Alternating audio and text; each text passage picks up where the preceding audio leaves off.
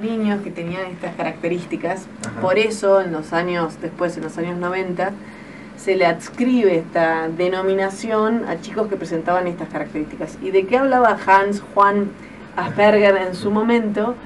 Hablaba de chicos que tenían ciertos desafíos a la hora de interactuar socialmente con otras personas, que los hacía medio como torpes desde lo social, ¿no? Como tenían cierta inadecuación en la manera de acercarse a otras personas, eran quizás personas que hablaban de una manera peculiar, tenían como un idioma que les llamaba la atención a las otras personas. De hecho, muchas veces cuando estás enfrente o escuchás a alguien con síndrome de Asperger hablar, muchas veces te preguntas, ¿vos sos de acá?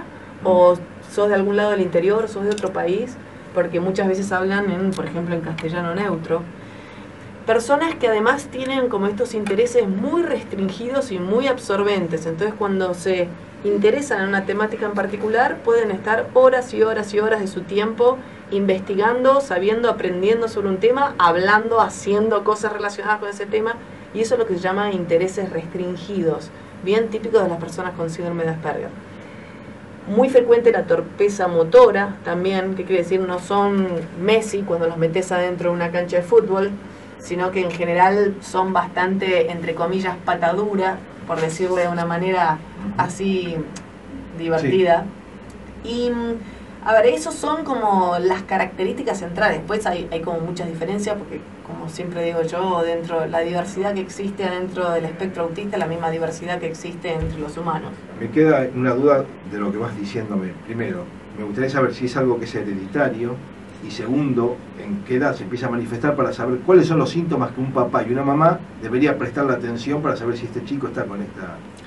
Sí, el síndrome de Asperger en realidad considerado una condición dentro del espectro autista, en realidad hoy por hoy, es dentro de las condiciones, adentro del espectro autista, de las que más tardíamente uno se da cuenta. ¿Por qué? Porque generalmente adquieren lenguaje muy, o sea, bien, es más, a veces tienen un lenguaje como muy sofisticado, casi enciclopédico, usan palabras que decís, ¿y este chico de cuatro años cómo puede conocer esa palabra? ¿No? O sea, que se leyó la Real Academia Española, o de dónde salió lo que acaba de decir. Eh, entonces llaman la atención a veces por lo sofisticado de su lenguaje. Y eso en un niño de 3, 4 años, además, ya te digo, quizás asociado a una gran memoria, que se acuerdan, tienen mucha, a veces, memoria visoespacial. Esto hace que en realidad, o por ejemplo en sistemas que tienen que ver con letras, con números, capaz que saben, empiezan a leer o a reconocer letras y números muy temprano, y vos cuando ves un chico de 3 o 4 años que reconoce letras, números, logos, que, está reconocido, que tiene mucha memoria, que se acuerda cómo ir a los lugares, que habla de una manera muy sofisticada, lo menos que pensás es, tiene algo complicado, ¿no? que de hecho no lo es complicado. Pero generalmente son chicos que pasan por wow, sorprenden a la gente que tienen alrededor. Por eso no se diagnostican tan temprano, digo, desde el punto de vista de la salud mental o, la salud en general. Son chicos, te diré que el, diagnóstico del síndrome de Asperger empieza a ser más frecuente cuando los chicos entran al colegio a la primaria, más o menos. Te diré que así 5 o 6 años es donde empiezan, ¿por qué? Porque empiezan a aparecer estas cuestiones más sociales de, de desafíos a la hora de interactuar con sus pares. Y ahí es donde salta como decir, bueno, esta es una persona un poquito distinta que el típico niño de 6 años en un colegio. Entonces, el diagnóstico generalmente empieza a hacerse más o menos 5 o 6 años. Ahora, hay gente con síndrome de Asperger que está diagnosticada a los 60 años. A mí, la verdad que por lo, ya lo, que llevas contado se me ocurrieron varias cosas para preguntarte. Eh, una, por ejemplo, bueno, lo mencionás como, lo describís como un tema de conducta, ¿no? y sobre todo que se manifiesta en lo social pero obedece alguna razón orgánica, clínica, o le han encontrado alguna razón, alguna vinculación con este... No te había contestado eso. A ver, eh, no está, se cree que hay base hereditaria, porque de hecho cuando alguien ve a un chico con síndrome de Asperger, es muy frecuente encontrar eh, algún padre o alguien en la generación de arriba de los abuelos con características bastante similares. Se considera que es bastante biológico y hereditario. ¿sí? O sea, se comparten rasgos en familias enteras, o hay hermanos, o hay familias enteras que madre, padre y cuatro hijos mm. tienen rasgos y características dentro de lo que es eh, el síndrome de Asperger. Entonces, que hay algo biológico, genético, sí. Ahora, no te puedo contestar diciendo, ah, sí, mira, estos son los genes que están implicados, porque eso no se sabe. Este, me gustaría, sí, que ahí... No, le iba a preguntar si, este, bueno, esta, conocí esta este, patología en una persona, ¿qué medicación hay? Es que en realidad te diré que la pregunta hay que dar la vuelta, porque no es que hay, la medicación no tiene demasiada... La medicación cuando se usa en este tipo de personas con estas condiciones es más bien sintomática, lo que se llama sintomático, que quiere decir que va a ir a tratar algunos síntomas, pero no que tienen que ver con la manera de ser de esa persona. Eh, la medicación en todo caso se van a, usar en casos de, no sé, un adolescente con síndrome de Asperger que es muy ansioso o que está deprimido. O sea, la medicación se va a usar por esos síntomas que en realidad no tienen que ver con la condición del síndrome de Asperger no hay medicación para el síndrome de Asperger. Ese es la, el principio general. Sobre el ajedrez terapéutico habíamos encontrado esto para leerlo y para contarle a nuestros oyentes. Desde hace casi una década se está investigando los beneficios del ajedrez para niños y adultos como herramienta terapéutica.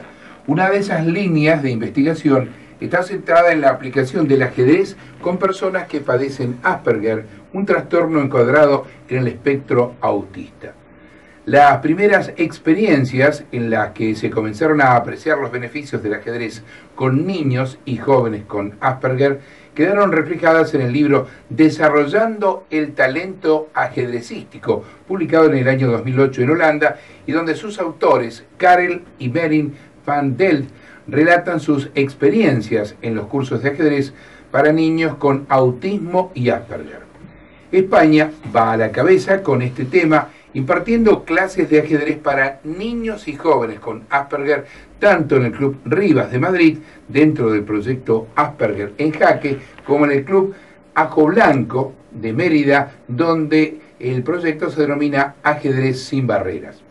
Hasta tal punto son positivos los resultados de las diferentes experiencias realizadas con el ajedrez con personas con el síndrome de Asperger que incluso el Club Magic de Extremadura imparte cursos para monitores, profesores y docentes que quieren especializarse en cursos de ajedrez para niños con TDAH, autismo y Asperger. Estos cursos son dictados por dos de las grandes autoridades en el tema, el psiquiatra Hilario Blanco y el psicólogo Juan Antonio Montero. El Club de Ajedrez Magic de Extremadura es todo un referente a nivel internacional en cuanto a aplicaciones terapéuticas y sociales del ajedrez. Dicho esto, quiero presentarlo entonces ahora formalmente a Oscar Pablo Ponomarev.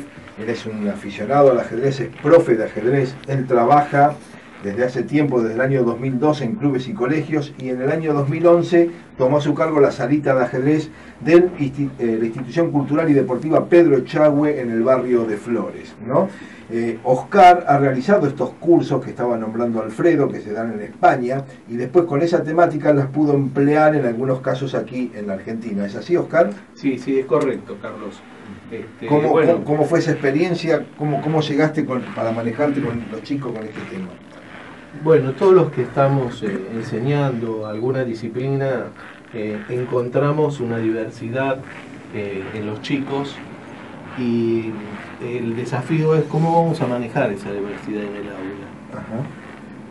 Bueno, fue ahí cuando me, decidí a contactar al doctor Hilario Blasco Fontesilia por el curso de capacitación del Club Magic y, bueno, lo realicé y realmente los resultados resultaron muy satisfactorios. ¿Cuál es, ¿Por dónde pasaba tu, preparación, tu formación? ¿Qué eran los cuidados que tenías que tomar cuando te encontrabas en un aula con chicos con el Asperger y chicos por ahí que convencionales? Que, bueno, ¿Cómo hacías para convivir entre todos juntos? Bueno, en realidad este, no, no hay ningún tipo de, problema que impida que los chicos estén, estén juntos en un mismo aula. Eh, las únicas consideraciones que hay que tener en cuanto al lugar donde se va a dictar la actividad es eh, cuidar el orden. Eh, ellos gustan de que las cosas estén en el mismo lugar, el tablero mural ubicado en un lugar, los, los juegos apilados en otro, y eso les da seguridad. Entonces, este, simplemente esos, esos cuidados gustan de que siempre al principio de la clase uno diga, bueno, hoy se va, vamos a tratar tal tema, explicarles qué es lo que se va a hacer, eh, cuál es el objetivo de, de esa clase y qué es lo que se espera de ellos, claramente. ¿Y cómo reaccionan ante una derrota? Bueno, eso es un tema que es complicado porque tienen muy poca tolerancia a, a la derrota. Yo eh, considero que la, la actividad no tiene que perder el carácter lúdico. Y, y bueno, este, siempre tratar de que no, no sufran una derrota porque suele dañar mucho su autoestima, Claro. cosa que es muy importante siempre eh, estar eh, motivándolos, no tanto por los resultados, pero sí por los esfuerzos que, que realizan en la actividad. Eh, Alexia, son muchos los beneficios que se hablan sobre las virtudes que tiene la práctica del juego al ajedrez, el estimular la memoria, la concentración, el pensamiento lógico, abstracto, la disciplina, la responsabilidad, la autoestima. ¿Cómo ves todas estas virtudes que encajan en una patología de un chico con Asperger si le querés enseñar ajedrez? ¿Te parece que, que es beneficioso? Me una da la mejor calidad de vida? sensación que en realidad muchos de los chicos con síndrome de Asperger se acercan al ajedrez porque les resulta afín a su manera de procesar. A ver, no es de alguna manera, digo para ponerlo del otro lado, Sí, me da la sensación de que hay muchas personas dentro del espectro autista y especialmente las personas con síndrome de Asperger que tienen mucha facilidad para lo que se llama sistematizar, ¿sí? Ujú. Em, para identificar patrones. Entonces, probablemente les resulte relativamente sencillo, no digo sencillo, pero que se entiendan de determinada manera, así como se puede entender con un sistema, con una computadora, o cómo funciona cualquier sistema de códigos. Mientras las reglas estén claras y ya te digo, muchas personas dentro del espectro lo que pueden es imaginarse patrones, o sea, tienen mucha noción de patrones en la cabeza. Me da la sensación de que el ajedrez puede ser algo que a ellos les gusta, es como si fuera un interés. Entonces, casi que lo vería más por el lado de que es un ambiente donde pueden ir a eh, dedicarse a lo que les interesa y de paso hacer alguna cuestión de lo social, porque si hay algo central de esto que hablábamos de los desafíos sociales, cuando uno quiere trabajar habilidades sociales, lo más importante para las personas con síndrome de Asperger es hacer ese trabajo de relacionamiento con otros en torno a sus intereses. ¿Sí? Tenemos que lograr que los chicos hagan actividades recreativas y ligadas con sus intereses y que ese sea el punto de contacto con otros chicos. No obligarlos a hacer cosas que no les gustan y eso hacerlo con compañeros. Eso no sirve. Entonces el ajedrez probablemente es una actividad que les brinda ordenadamente un ambiente, además esto que decía Oscar también, esto de hacer un ambiente y construir un ambiente predecible, anticipar qué es lo que va a ocurrir y explicitar las reglas, les da como mucha tranquilidad. Las personas dentro del espectro tienen bastante resistencia a lo que es impredecible o ante los cambios no predichos. Entonces, todo lo que sea armar ambientes predecibles y anticipar lo que va a ocurrir, a ellos los deja mucho más regulados. Entonces es una actividad disfrutable, que les interesa, que hace muchas veces bien, que está predecible y que además les da la oportunidad de estar en contacto con otras personas que también lo disfrutan. Está buenísimo. bueno. Sí, es como que los encarrila, se me ocurría, digamos. Los va llevando por un camino que Les ellos da un se marco cómodos. seguro donde también probablemente manifestar sus fortalezas, porque si hay algo claro. que probablemente el, el ajedrez les da como oportunidad de demostrar esa facilidad que tienen con los patrones y de sistematizar ¿sí? todos los que son sistemas gobernados por reglas. Muy bien. Bueno, vamos a hacer un cortecito y tenemos que vender y seguimos conversando. ¿Quiere comer sano, bajar su colesterol, la diabetes y la hipertensión? Reemplace sus cacerolas de aluminio o teflón por Queen International que tiene la solución. Recipientes únicos fabricados en acero quirúrgico. Infórmese en www.queeninternational.com.ar o telefónicamente al 4392 2468 o al 1550 07 2260 de lunes a viernes de 9 a 17. OSPAT, la obra social del personal de la actividad del TURF, también quiere estar presente junto al ajedrez con otra apuesta saludable para sus afiliados, el ajedrez y OSPAT, una gran jugada. Si querés aprender a jugar al ajedrez y estudiar con los mejores, inscribite en la Escuela Deportiva de Ajedrez del Club Obras. Clases en nivel básico, intermedio y avanzado. Instituto Obras Educativo. Avenida el Libertador 7395. 20 y 33, seguimos enfrente al tablero. Quería consultarle al profe Oscar Ponomarev, profesor de, ajedrez en la institución cultural y deportiva Pedro Chagua en el barrio de Flores. Cuando tuviste esta experiencia con Chico, con esta temática de Asperger, eh, ¿qué notaste después de un tiempo de estar trabajando con ellos? ¿Qué, mejora viste eh, después de las clases de ajedrez? Bueno, normalmente son chicos que vienen con una autoestima muy baja, producto de que eh, tienen torpeza motora y eso los lleva que en el colegio no son este, los, los, más este, eh, populares de alguna manera. Entonces, eh, tienen autoestima baja. Eh, lo, que noté yo en la clase es que, por ejemplo, no quieren emprender una actividad si no están seguros de resolverla bien, de, poder llegar al, al, objetivo. Entonces es muy importante empezar de a poco, pasito a pasito, darles los ejercicios con consignas claras, y, y bueno, se, se, nota, digamos, cómo empiezan a progresar en la resolución de ejercicios cada vez de mayor dificultad, cómo la autoestima empieza a fortalecerse. En un principio quizás no participan de la clase del tablero mural, después hay que decirles, bueno, bueno, este, pará un poquito porque tienen que responder todos. Claro. O, eh, bueno, otro tema también que hay que tener en cuenta que, como decía la doctora, ellos tienen intereses muchas veces eh, en otros temas en los cuales son verdaderos expertos porque dedican mucho tiempo y siempre en algún momento de la clase alguno quiere sacar su, su tema. Entonces, este, bueno, en ese caso lo que le decimos es que al final de la clase lo vamos a dejar hablar entonces él se, pone, se pone contento. Otra estrategia es tratar de articular el ajedrez con su interés. Si le gusta la historia, extraer un tema de historia, que el ajedrez es muy rica en ese aspecto, y articularlo para que él este, pueda sentirse agradado. ¿no? Alexia, me quedaba, eh, si quería, no te pregunté creo, si eran de conducta violenta y cuál era la mejor manera de eh, integrarlos, ¿no? de, ayudarlos. Sí, la condición en sí no es que esté asociada a la violencia por la condición misma. Digamos, existe mm, conductas agresivas como existen en los humanos en general. ¿viste? Tenés personas eh, que son más agresivas que otras en la calle. Bueno, dentro del del colectivo de personas con síndrome de Asperger tenés personas que son más agresivas y personas que son pero agua de tanque absolutamente.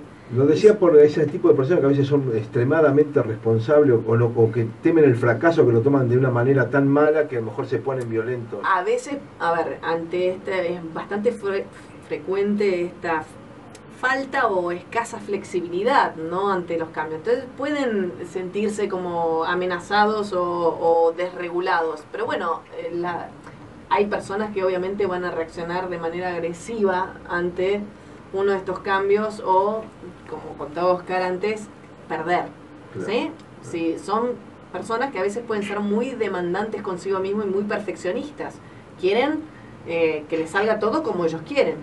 Eh, entonces, cuando la vida no es como ellos quieren, esa eh, digamos, expectativa no compensada de alguna manera los puede enojar. Ahora, para las personas que tienen enojos así, que tienen conductas agresivas, son todas cosas que se pueden trabajar, se pueden mejorar. Pero así como contaba Oscar, todas las cosas que vos hagas con mucha claridad, con mucha anticipación, con darles reglas claras, con contarles las cosas, con darles el espacio, creo que eso ya ayuda. No sé si tuviste alguna situación así como de agresividad adentro del espacio, pero... No, no, realmente no. Este, en una, una vez este, un chico que perdió, eh, bueno, sí se puso a llorar y, cuando traté de consolarlo, y bueno, pero acá estamos entre amigos, la respuesta fue, yo no vengo a ser amigos, yo vengo a ganar. Y, y bueno, es decir, explicándole que el camino al éxito lleva también pasar por la derrota y todo, bueno, más o menos este, pudimos Claro, es una salvar la oportunidad de aprendizaje en realidad. Oscar, o sea que son muy exigentes con ellos mismos. Sí, sí, tal cual. Eh, tenemos en línea a Laura Stigliano, la mamá de Mateo. Mateo es uno de los alumnos que concurre al Pedro Echagüe a las clases que da Oscar Ponomarev semanalmente. Buenas noches, Laura. Te saluda Carlos Hilardo. Me acompañan Alfredo Tabacman y Andrés Prestileo. Bien, estábamos con esta temática de ajedrez terapéutico, como llamamos, la aplicación del ajedrez en los casos de chicos con Asperger. En el caso de Mateo, queríamos consultarte, vos como mamá, Mateo ya lleva creo que un par de años jugando al ajedrez, que ha comenzado a aprender a jugar al ajedrez. Eh, ¿Qué cambios notaste de que el chico ha incorporado al, al ajedrez como uno de sus juegos preferidos?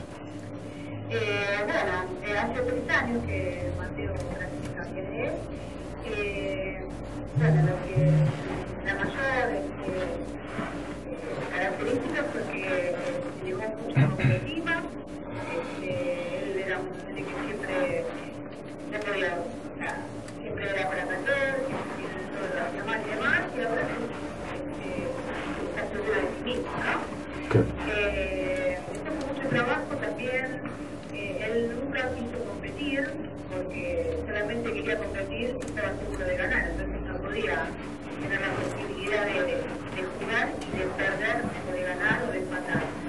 Eh, con el trabajo de, de eh, bueno, logramos que fuera parte de, de torneos, este, que se animara a jugar, a participar ayudaba y no jugaba, no lo miraba, este, participó y bueno, en algunos tuvo la suerte de ganar y en otros tuvo la suerte de perder y aceptar este, que bueno, que era excepcional, ¿no? De, de los, de los deportes que practica Mateo, de los, los juegos que él tiene con, con- con gente, con amigos, ¿el ajedrez el que mejor se ha adaptado? Eh, el ajedrez en realidad es el único que juega con sus padres. Ah, Eh, de hecho, por ejemplo, ahora en la escuela, eh, para los recreos que, que tiene que hacer adentro, tiene que llevar juegos y él eligió llevar el ajedrez. Este, y bueno, eh, fue el medio para relacionarse con, con sus amigos. Este, en realidad con sus compañeros.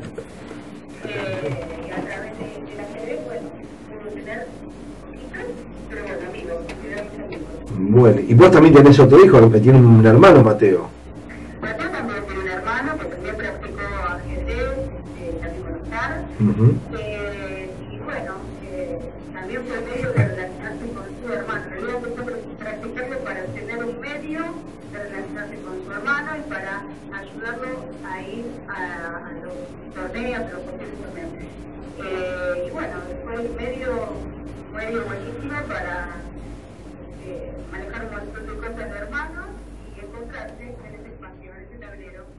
Laura Stigliano, te agradecemos muchísimo la participación en Frente al Tablero. No es fácil a veces convocar a algún papá que quiera hablar sobre la temática de sus hijos.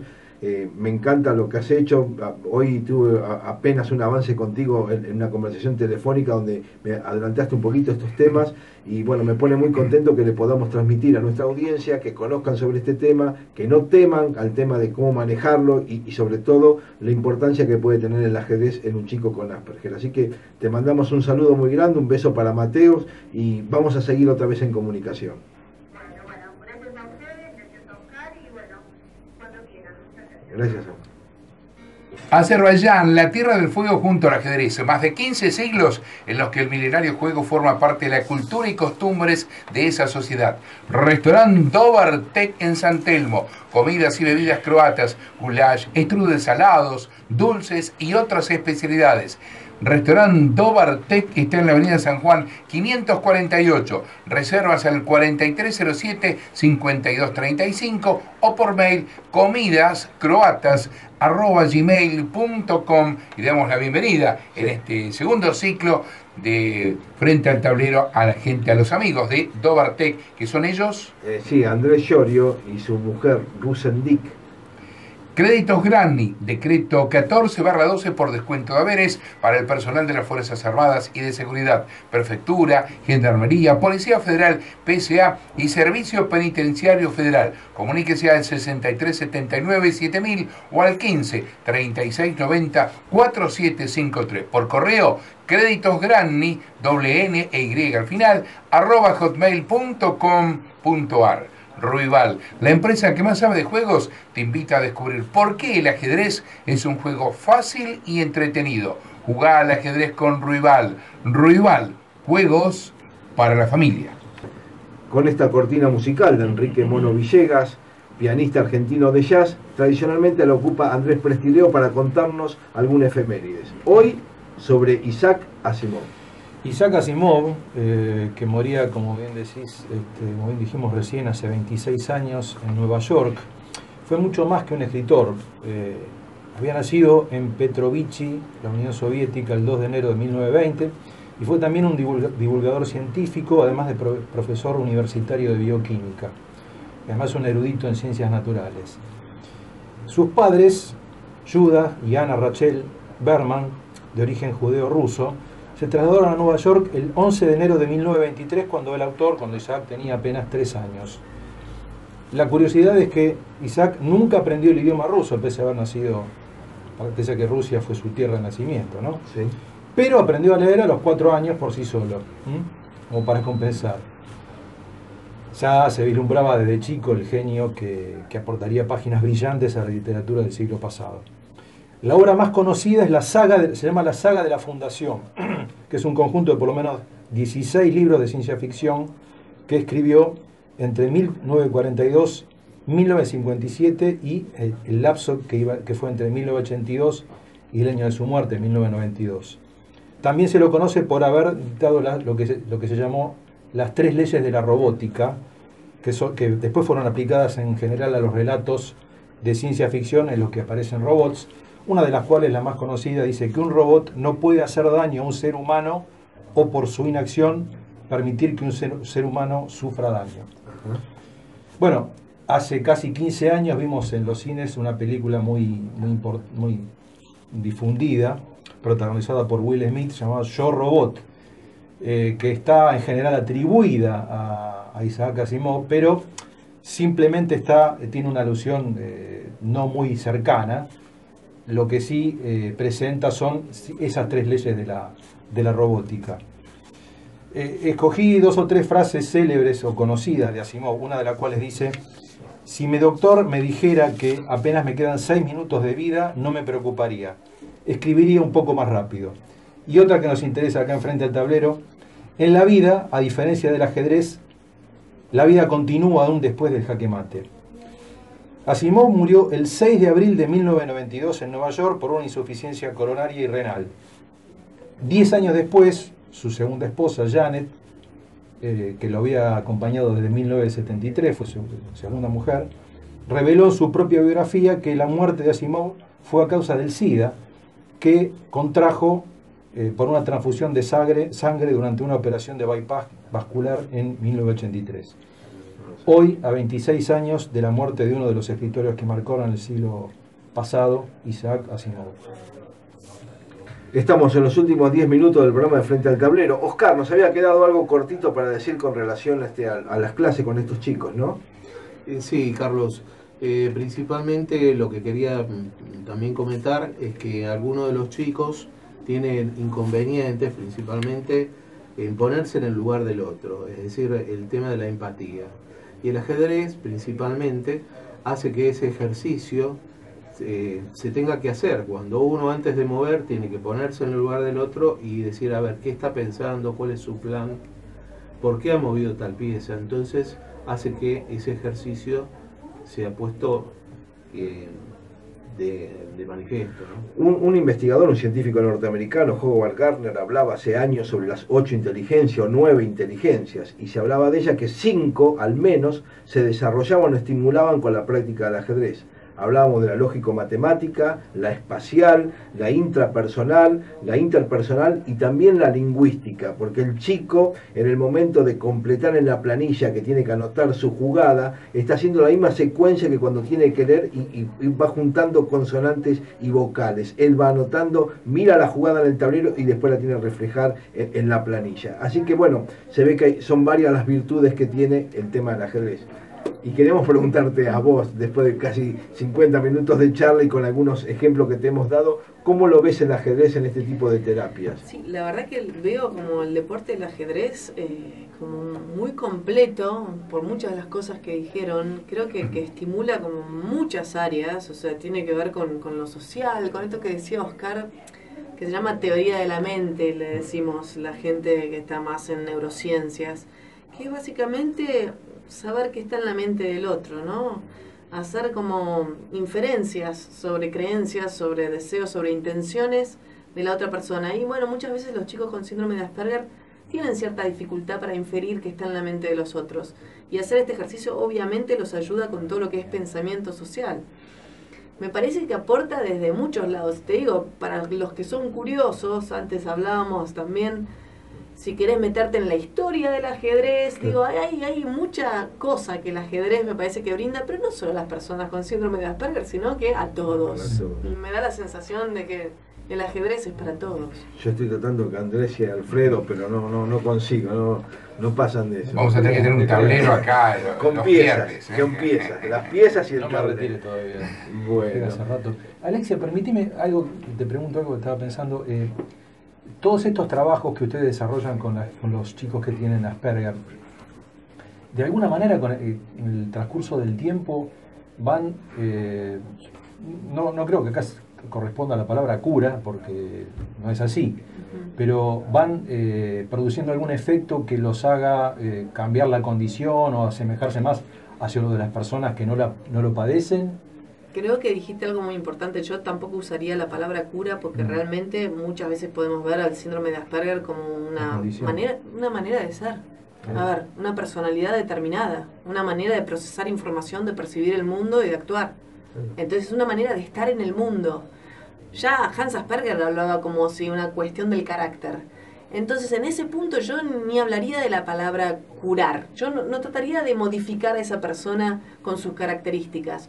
Obvio que como a cualquier otra persona le vas a brindar los apoyos para que no sufra con alguna de esas características. Digo, si no adivinar lo que está en la mente de los otros a vos te hace estar por fuera de un grupo y que te hostiguen, Claro. y bueno, vas a querer que ese chico tenga más herramientas para poder adivinar cuáles son las intenciones de los otros. Ahí es donde vienen los apoyos, pero no por tratar de modificarlos en su manera de ser, sino respetarlos con las cosas que les tienen cosas muy lindas las personas con síndrome de Asperger, tienen fortalezas que uno más de uno desearía tener las fortalezas y talentos que tienen las personas dentro del espectro y especialmente los chicos con síndrome de Asperger. Así que es más esto, una manera de estar en el mundo. Mm. muy bien. Alexia, si una persona de dentro nos está escuchando ahora y cree que su hijo puede tener esta, estar eh, teniendo esta situación, ¿dónde puede dirigirse? ¿Dónde puede conseguir información? Primero la pregunta que se tiene que contestar es, ¿su hijo sufre? Porque si la respuesta es no, no tiene que buscar nada. Ahora, si se contesta que sí, obvio, bueno, busca información, eh, apenas metas en Google, doctor Google, alguna, alguno de estos síntomas o características te van a saltar un montón de cosas. Mejor ir a los lugares. Obviamente hay una asociación Asperger Argentina, está la página web de Panacea donde yo trabajo, tenemos mucha información dispuesta ahí. Eh, pero es muy importante tu pregunta, porque no es que por tener estas características sí o sí necesitas ayuda. ¿No? Entonces, necesitas ayuda puede ser indistinto a la condición. Y a veces hay gente que se preocupa, se pregunta sobre sí mismo, no es siempre sobre un hijo. Hay adultos que se preguntan si no tienen características del síndrome. ¿Saben cuántas veces nos escriben adultos y personas más grandes diciendo, vi un programa, leí una nota y me parece, Parece que, yo, ahí". me parece que yo siempre he tenido alguna de estas cosas y ahora empiezo a entender muchas cosas que me pasaban. Panacea, ¿tiene algún tipo de ayuda? Sí, Eh, nosotros hacemos, primero tenemos mucha accesibilidad a información de calidad en la página web y en nuestros videos de YouTube. O sea, la gente que quiere buscar información puede entrar. Y después tenemos, sí, hacemos consultas de orientación vía Skype. Muy bien. Así que la gente no se tiene. A veces las personas dentro del espectro no les gusta mucho eh, entrar en contacto y esto del Skype les resulta. Mira vos. ¿Cómo es el sitio entonces en internet de Panacea? www.panacea, como si fuera cordobés.org de organización. Con do- doble A. Doble A. Doble A por adultos y adolescentes. Muy bien. Este Alfredo, ¿cómo anduvimos con la consigna? Bien, vamos con los nombres rapiditos los oyentes que respondieron correctamente. Gustavo Magallanes, eh, Bastanzo Jorge, Jorge Marín, Juliano Marcelo Omar, Jorge Santucho, Lucas Rodrigo, Gabriel Vides, Alejandro Huerta, Humberto Castro Peralta, Gustavo De Loca, Nicolás García, Ale Lagos, César Monroy, Adriana Maisonave, Jorge Corradine y Héctor Prior. Todos Muy respondieron ¿Y correctamente. cuál era la consigna? Vamos a recordar la pregunta y vamos a pedirle a Andrés que nos dé la respuesta. Bueno. Él la sabe, ¿no? No, no, estoy pensando. La pregunta decía, este, ¿cuál es el nombre de la novela de Catherine Neville, escrita en 1988, que se convirtió en bestseller y que trataba sobre la búsqueda de un juego de ajedrez que había pertenecido a Carlo Magno? La respuesta correcta Es El 8. era ocho. Ese es el, así la novela, lleva por nombre el, el 8, y en el año 2008, o sea, 10 años después de esa publicación, continuó la saga con la segunda parte que llevó con- con- bajo el título de El Fuego. Así que bueno, esas son las dos novelas que Catherine Neville lo vinculó con el tema del ajedrez.